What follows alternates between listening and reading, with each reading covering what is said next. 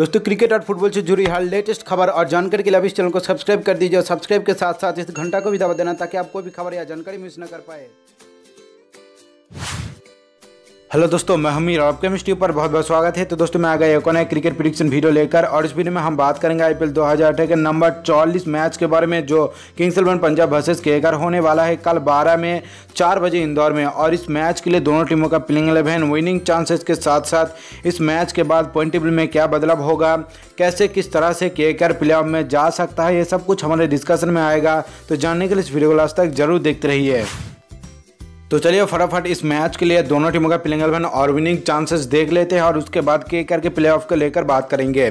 तो इस मैच के लिए किंग्स इलेवन पंजाब का प्लेइंग एलेवन जो लास्ट मैच के लिए था, वो ज़रूर चेंज होगा क्योंकि लास्ट मैच हार चुका था किंग्स इलेवन पंजाब।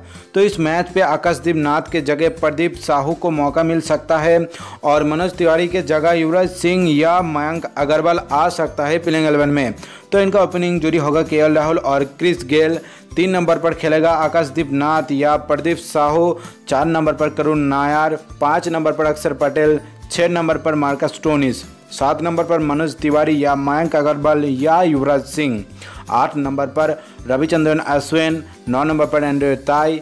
दस नंबर पर मोहित शर्मा ग्यारह नंबर पर मुजीबुर रहमान। और अब बात कर लेते हैं के के प्लेइंग इलेवन के बारे में। तो के के प्लेइंग इलेवन जो लास्ट मैच पे था, उसको ज़रूर चेंज करेगा क्योंकि लास्ट मैच बहुत ही बुरी तरीके से हार गया था के आर मुंबई इंडियंस के विरुद्ध। और इस मैच के लिए रिंकू सिंह के जगह शुभमन गिल आ सकता है क्योंकि शुभमन एक इन्फॉर्म बैट्समैन है और उनको लास्ट मैच पे ना लेकर बहुत एक गलती कर दिया था के ने।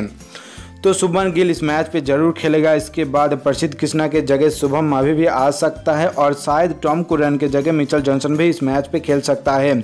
तो केका का ओपनिंग जोड़ी होगा। क्रिस लिन और सुनील नरिन तीन नंबर पर खेलेगा। रॉबिन उत्थप्पा चार नंबर पर निशित राणा, पाँच नंबर पर दिनेश कार्तिक छः नंबर पर रिंकू सिंह या शुभमन गिल, सात नंबर पर एंड्रे रसेल, आठ नंबर पर पीयूष चबला, नौ नंबर पर टॉम कुरन और उनके जगह मिचल जॉनसन भी खेल सकता है। दस नंबर पर प्रसिद्ध कृष्णा या शुभम माभी ग्यारह नंबर पर कुलदीप यादव।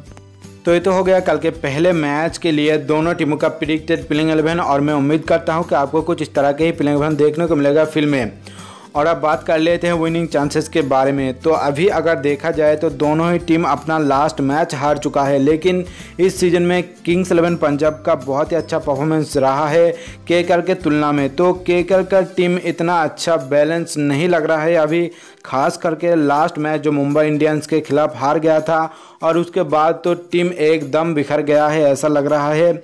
लेकिन अगर किंग्स इलेवन पंजाब की टीम देखा जाए तो वो बहुत ही एक अच्छा बैलेंस टीम लग रहा है और अपने विरोधी को एक टक्कर का मुकाबला दे रहा है। केकर के तरह एक तरफा हार नहीं हार रहा है किसी भी मैच को। किंग्स इलेवन पंजाब तो अभी किंग्स इलेवन पंजाब का पलड़ा थोड़ा भारी है। इस मैच में उनका जीतने का चांस रहेगा पचहत्तर परसेंट और के का इस मैच पे जीतने का चांस रहेगा पच्चीस परसेंट।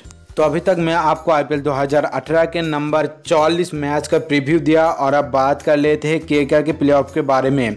तो दोस्तों, आपको तो पता ही होगा कि मुंबई इंडियंस किस तरह से आईपीएल 2018 में वापसी क्या है। मुंबई इंडियंस लास्ट तीन मैच लगातार जीत चुका है, जहाँ पर दो मैच के के साथ था और दोनों पर ही जीत हासिल कर लिया मुंबई इंडियंस ने। और जिसके चलते मुंबई इंडियंस पॉइंट टेबल के चार नंबर पोजीशन पर आ गया है और प्लेऑफ में अपना जगह लगभग पक्का बना लिया है। लेकिन दूसरी तरफ़ के जो चार नंबर पर था, वो अब चला गया है पाँच नंबर पोजीशन पर और प्ले से लगभग वो भी बाहर हो चुका है, लेकिन उनके पास एक और मौका है, एक और रास्ता है जाने के लिए प्ले में। तो मैं आपको अभी वो बता देता हूँ। तो केकेआर को अभी प्लेऑफ में जाने के लिए बाकी जो तीन मैच है प्लेऑफ से पहले और तीन मैच जीतना एकदम कंपलसरी हो गया है, जहाँ पर उन्हें एक मैच को ज़्यादा मार्जिन से भी जीतना पड़ेगा। पॉइंट टेबल के अगर देखा जाए तो उनका जो नेट रन रेट है, वहाँ पर उनका पॉइंट थोड़ा सा कम है तो इसीलिए उन्हें एक मैच ज़्यादा मार्जिन से जीतना पड़ेगा। और एक भी मैच अगर हार जाता है तो प्लेऑफ से एकदम बाहर हो जाएगा। और उसके साथ साथ मुंबई इंडियंस अगर ख़राब परफॉर्मेंस दे देता है, और प्लेऑफ से पहले उनका जो बाकी तीन मैच है, उनमें से अगर कोई भी एक मैच हार जाता है तो के प्ले में जा सकता है। लेकिन अभी मुंबई इंडियंस का जो परफॉर्मेंस हमें देखने को मिल रहा है, उससे तो यही लग रहा है कि उनको हराना अभी बहुत ही मुश्किल है और उनके साथ जो टीम है अभी उनका जो खेल बाकी है, उन टीमों के विरुद्ध उनका परफॉर्मेंस अच्छा रहा है। तो शायद मुंबई इंडियंस क्वालिफाई कर जाएगा प्लेऑफ के लिए और के इस बार प्लेऑफ में नहीं जा पाएगा। और आपका क्या ख्याल है इस बारे में, मुझे कमेंट में ज़रूर बताइए।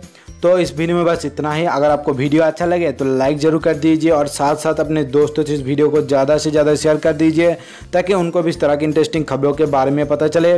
Thanks for watching I will see you guys in my next video till then bye bye